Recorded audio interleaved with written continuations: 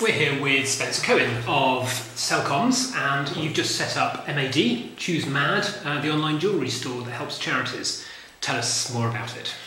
Um, Sellcoms has been in the not-for-profit sector for the last five years, and we've been researching different ways of trying to put together new fundraising tools, tools that wouldn't affect what's going on in fundraising today, that would actually enhance um, fundraising and actually bringing revenues from different areas.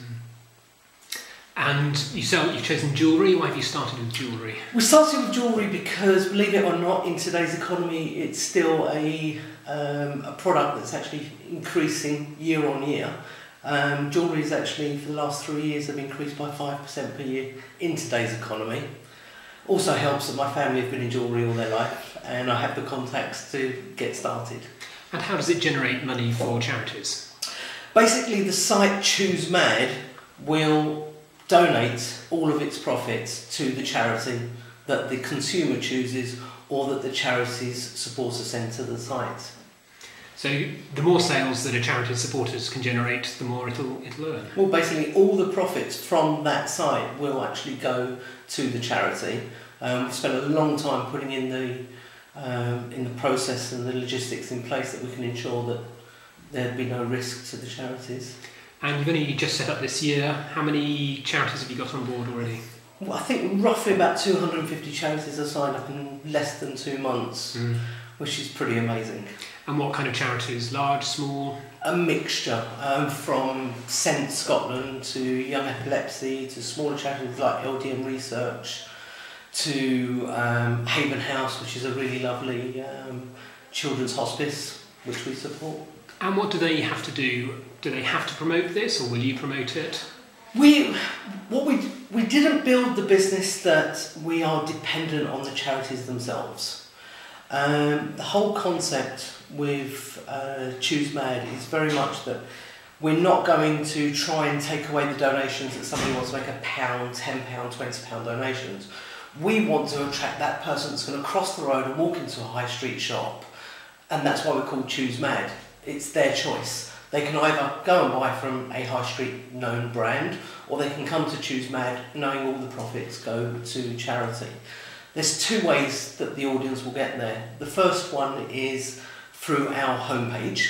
Um, so we launched Facebook um, a couple of months ago. I think we have over uh, of 10,000 likes already. Um, we have Twitter campaigns. Now, anybody that comes to our site on checkout, they're asked which charity they'd like the profits to go to.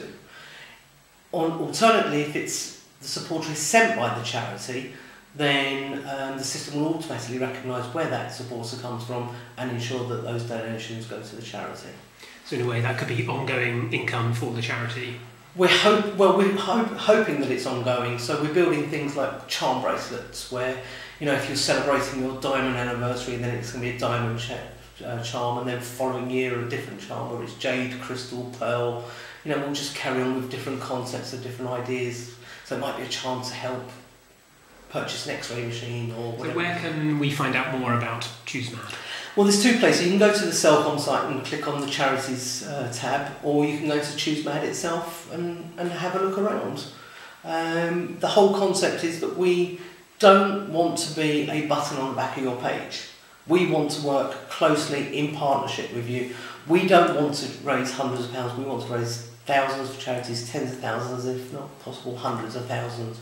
We will throw our whole weight behind our relationships and our partnerships to make that happen. Um, we've extended um, the type of offerings. So, apart from the online jewellery store, we now offer jewellery parties. So, if your supporters and volunteers, there's 1.4 million volunteers in the UK.